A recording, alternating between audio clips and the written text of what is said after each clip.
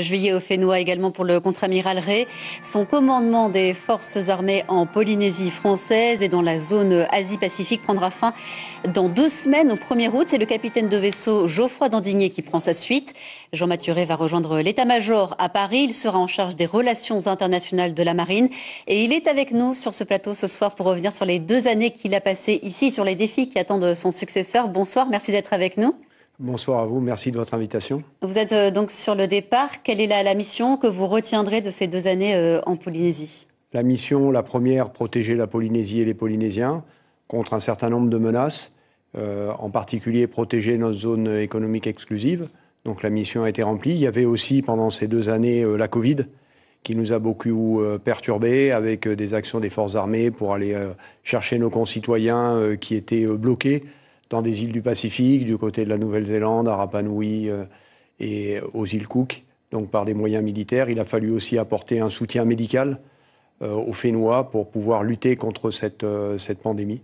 Oui, ces deux années ont vraiment été particulières pour vous dans, dans ce contexte de pandémie. On a tendance à l'oublier un peu que l'armée a aussi ce rôle de soutien à la population Soutien à la population, j'ai parlé de la zone économique qui est protégée par les, par les forces armées, les bateaux, les avions en particulier une surveillance permanente pour faire en sorte que seuls les pays, les euh, pêcheurs autorisés par le pays pêchent dans les eaux cette, euh, cette zone immense hein, de, 5 millions de kilomètres carrés. Justement, elle, elle, est immense cette zone. Est-ce que vraiment tous les moyens humains et matériels sont, sont mis, sont suffisants pour surveiller une zone aussi grande que celle-là? Alors, c'est une organisation en plusieurs barrières.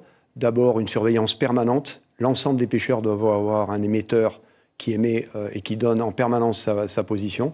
Donc ça, c'est surveillé, doublé par une surveillance euh, satellitaire des photos, puis nos avions, nos bateaux qui vont contrôler les pêcheurs, et enfin les pêcheurs du Fénois eux-mêmes qui, qui, constituent la quatrième barrière, si je puis dire, puisque euh, dès qu'il y a une alerte, je leur dis toujours, il n'y a pas de mauvaise alerte. Il peut y avoir une fausse alerte, mais je préfère qu'on m'alerte que j'envoie un bateau, un avion vérifié, euh, plutôt que d'apprendre qu'un jour après qu'il y avait peut-être un bateau. Euh, voilà. Est-ce qu'il est courant que vous interceptez des bateaux de pêche qui, euh, qui pêchent illégalement dans les eaux de la Polynésie française? Il y a de nombreuses années qu'il n'y a pas de pêche illégale en Polynésie française.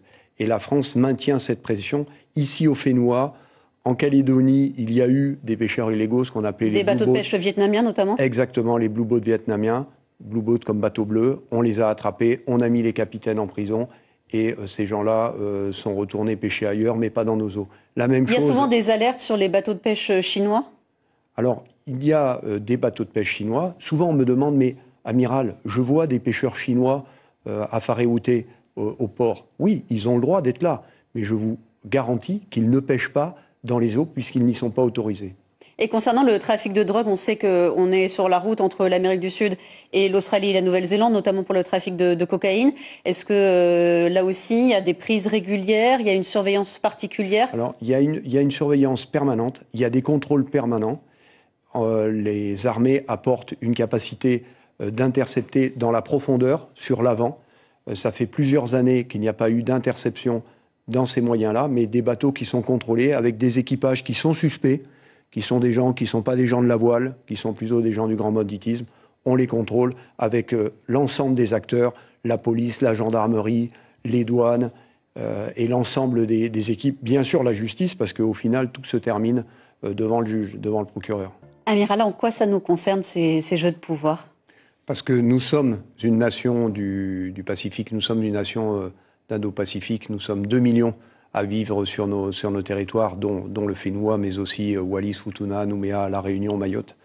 Et euh, donc nous, avons besoin d'assurer notre, notre souveraineté et euh, d'assurer la sécurité dans cette, dans cette partie du monde.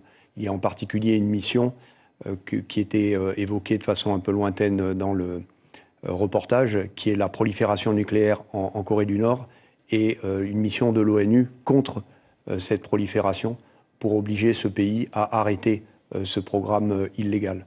Il a beaucoup été question de, la lutte entre la Chine et les États-Unis lors du dernier euh, sommet du Forum des îles du Pacifique qui vient de se terminer à Suva, avec parmi les annonces majeures les îles Salomon qui renoncent à abriter une, base chinoise, une base militaire chinoise pour rester proche de l'allié australien. Est-ce que ça c'est une nouvelle qui rassure la France?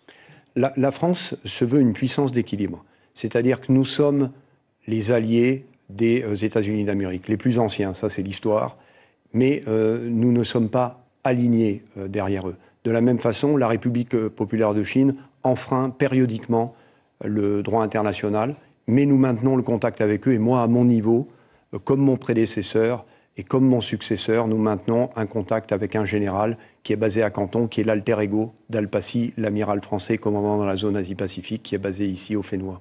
Allié mais pas aligné avec les États-Unis, toujours allié aussi avec l'Australie, malgré cette histoire de sous-marin chinois, de sous-marin euh, pardon militaire. Oui, euh, il y a effectivement eu une surprise qui a été perçue par la France comme une trahison. Et donc à partir de là, il faut reconstruire la confiance. Avec les États-Unis d'Amérique, c'est en cours. Avec l'Australie, mais nous continuons à, travailler avec les Australiens. Au Tonga, en janvier, quand il a fallu agir ensemble, nous l'avons fait dans le cadre des accords France, France, Australie, Nouvelle-Zélande. Donc et maintenant, nous devons reconstruire cette confiance avec des Australiens dont nous partageons les valeurs. Des Australiens qui ont été Première Guerre mondiale, Deuxième Guerre mondiale, se battent pour notre liberté et ça, nous n'oublions pas. En quelques mots, euh, rapidement, si possible, euh, on voit avec la guerre en Ukraine que la guerre, elle se joue aussi au niveau euh, numérique. Est-ce qu'il y a une surveillance particulière ici en Polynésie, notamment des câbles sous-marins? Oui, les, câbles sous-marins sont un enjeu. Ils doivent être protégés de la même façon. Ici, nous avons des capacités d'écoute pour la, lutte cyber qui est effectivement un nouveau domaine de lutte dans lequel nous devons être prêts à faire face aux, attaques de nos adversaires. Merci beaucoup, euh, Amiral, d'être venu sur notre plateau euh, ce soir et, et bon vent. Merci à vous.